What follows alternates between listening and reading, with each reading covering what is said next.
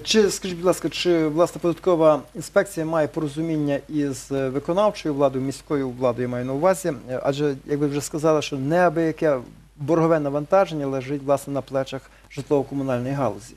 Е, Так, якщо е, детальніше, то е, житлово-комунальна галузь заборгува- е, заборгувала до бюджетів всіх рівнів на, на суму на сьогоднішній день на суму три- 40 е, 39 мільйонів гривень. Це дуже велика сума і займає значну питому вагу в активному бор- борзі міста Івано-Франківська. Е, Без сумніву, що без належної співпраці з виконавчою владою, без належної співпраці з іншими органами влади ми не можемо е, дієво стягувати ці, ці заборгованості.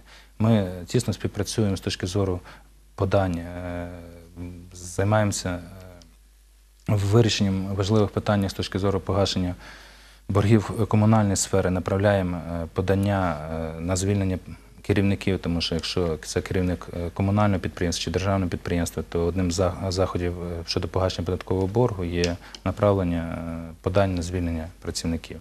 Але перешкоджають цьому і об'єктивні причини з точки зору і тарифів, неврегульованої величини тарифу по комунальній сфері тощо. Оголошення банкрутства може врятувати ситуацію? Оголошення банкрутства є останнім заходом по стягненню податкової заборгованості. І коли суб'єкт господарювання боржник є неплатоспроможний, і його платоспроможність не можна вже покращити по І то- банкрутство поточної діяльності, допоможе. то банкрутство в даному випадку мусить допомогти, тому що іншого вже способу немає. Тому банкрутство має ініціювання процедури банкрутства і оголошення процедури банкрутства е, повинно поставити е, точку і вирішити, чи це підприємство має право на функціонування в ринковій економіці, тобто на нашому. Тобто, в даному випадку саме порушення про банкрутство спрямовано на відновлення платоспроможності платника податків. Це дозволяється веденням мораторію, незасуванням штрафних санкцій, поточних і інших. І багато суб'єктів господарювання, які процедури банкрутства, процедуру санації, е, розпорядження майном виходять з боргових з боргового стану і відновлюють свою діяльність на нормальному рівні. За значення менше збитків. Подолання податкової збитковості, тривала боротьба, і про це йдеться весь час на колегії облдержадміністрації, на засіданні міськвиконкому. А скажіть, будь ласка, от чи передбачає новий податковий кодекс, можливо, якісь інструменти, які б дали змогу розрядити раз і назавжди цю ситуацію довкола податкової заборгованості? Ну, якщо дивитися е, зміни, які можуть бути запроваджені, ми знаємо, що ще не підписаний президентом податковий кодекс, і за дорученням прем'єр-міністра створена робоча група при кабінеті міністра, які займаються проблемами узгодженості вже цих, е, то в цьому податковому кодексу е, більш-менш систематизована робота і з точки зору погашення боргу. Ну, Наприклад, на відміну від, е, від теперішнього законодавства, цей е, податковий кодекс передбачає, що ми до боржників будемо виставляти не одну вимогу, а е, не дві вимоги, як ми раніше, як ми зараз виставляємо, а одну вимогу.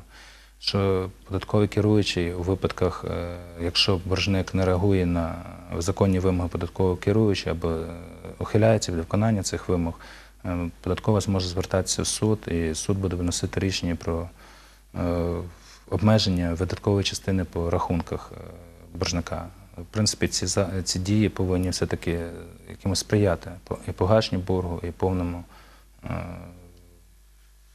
і підтримання дисципліни з точки зору сплати податків. Тому що е, несплата законних законних зобов'язань по податках вона тягне за собою і порушення умов в майбутньому інших контрагентів, які стикаються в роботі з цим платником податків. Тобто це є обов'язковою умовою нормального функціонування підприємств. Між тим, місцеві платники податків об'єднуються. Вони створили територіальне відділення Всеукраїнської асоціації платників податків. Репортаж Світлани Колесникової. В асоціацію платників податків можуть вступити як представники великого та середнього бізнесу, а також фізичні особи-підприємці. Нова структура має стати містком для діалогу між підприємцями та державою. не могли ми як е, е, протиставити як буфер, як буфер між, скажімо, органами, які розробляли Кабінетом міністрів, Міністерством фінансів, які були безпосередньо розробником проекту податкового кодексу, і малим середнім бізнесом. Тобто не було як такої окремої громадської організації, яка б могла висловити чітко свою позицію, свої наміри і внесення змін і доповнень. Діяльність асоціації стосується не лише захисту податкових прав. Спільними зусиллями підприємці мають намір відстоювати свої економічні інтереси і перед органами влади різних рівнів. Наразі основне завдання бізнесу налагодити тісні взаємини з податковою службою. Було важко кожному зокрема, але знаєте, як е, нитка по ниточці збирається, то виходить дуже сильний жгут, і це дає можливість нам не зламатися і захищати наші спільні інтереси разом, як платників податків. Тому е, на сьогоднішній день е, рахуйте, що є всесвітня організація платників податків створена, в яку входить 116 країн, і в тому числі Україна так само входить. І рахуйте, що невеличку таку частку в Україні будемо мати і ми. Асоціація платників податків сподіваються, її активісти сприятиме пожвавленню бізнес-клімату у регіоні. Роман Торій, Світлана Колеснікова, Олександр Литвиненко. Податкові діалоги. Партнерські відносини між е, податковою службою і платниками податків е, були вибудовані певною мірою і на запровадженні сучасних технологічних новинок. Я маю на увазі електронну звітність. Скажіть, будь ласка, як е, ця технологія репрезентована в новому податковому кодексі? Е, Щодо подачі електронної звітності через е, сучасні засоби телекомунікаційного зв'язку, то в даному випадку в податковому кодексі є прописано, що для платника податків є платника податків ПДВ є обов'язком подачі звітності в електронному вигляді. Чим це зумовлено? Це думаю, що це до цього, що вже довготривалий час, ще з 2003-2004 років почалося якраз е, напрям для подачі звітності в електронному вигляді. Тому що подача звітності в електронному вигляді це має важливий е, елемент того, що вона приносить ряд переваг для платника і для податкової служби. Зокрема, ми йдемо інформаційне суспільство. Зокрема, платник податків е, може зекономити час на ходіння до податкової для подачі звітності в паперовому варіанті, для ходіння в інші установи, наприклад, пенсійні фонди, е, фонди е, соціального страхування, інші. Тобто е, зараз йде перехід на концепцію подачі звітності в електронному форматі єдиного вікна. Е, Це, є і зручно для платників, і зручно для податкових органів. І думаю, що це є і поступ у індустріальне суспільство, е, про яке ми зараз говоримо. Якщо до цифр вдатися, то е, кількість платників, які подає звітність ДПІ міста Івано-Франківську в електронному вигляді, з кожним разом зростає. На сьогоднішній момент з 1800 е, платників ПДВ е, електронну звітність подають 1054, що складає майже 60% загальної кількості платників ПДВ. Е, по розмовах з платниками ПДВ, які вже перейшли на електронну звітність, е, можна сказати, що вони вже не перейдуть на бумажний варіант, що це є зручно. Їм це подобається. Їм це подобається, без сумніву, що е, йти назад з електронної звітності до паперової, це вже йде регресія. Ну і слава Богу, що подобається. Руслан Мирославовичу, дивіться, маючи певні проблеми, про які ми вище говорили, це і податкові заборгованості і тому подібне.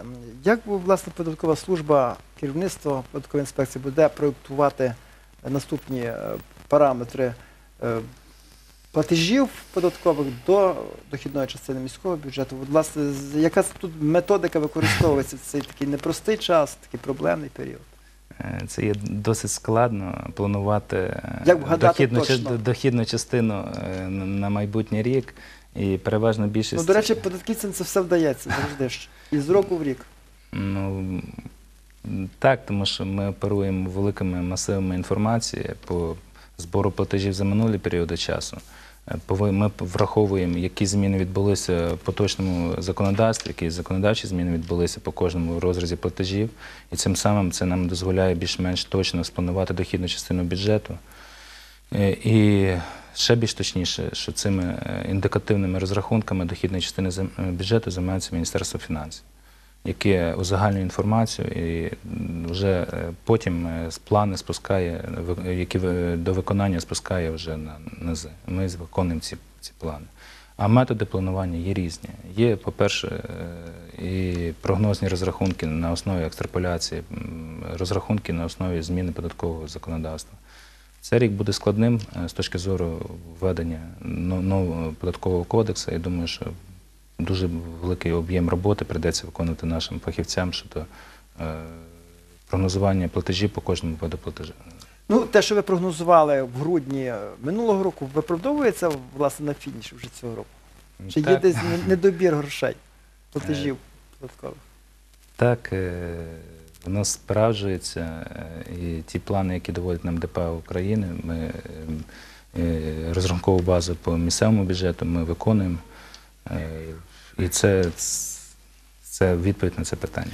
Зрозуміло, спасибі, Руслан Мирославович, що завітали до нашої телестудії про податкову політику щодо соціально-економічного розвитку Франківська. Ми сьогодні говорили із заступником начальника Державної податкової інспекції на Франківську Русланом Бойчуком, радником податкової служби першого рангу. Дякуємо за увагу. Хай вам щастить.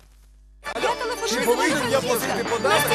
Вас вітає інформаційно-довідковий департамент Державної податкової служби. Отак. Я зателефонував і одержав відповідь. Я зателефонувала і отримала відповідь. Я зателефонував і отримав відповідь. Я зателефонувала і отримала відповідь. Телефонуйте і ви. Податкова відповідає. 8 800 501 2070. Зі стаціонарних телефонів безкоштовно. Алло,